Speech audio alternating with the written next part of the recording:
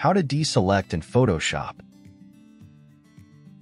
To deselect selection in Photoshop using keyboard shortcuts.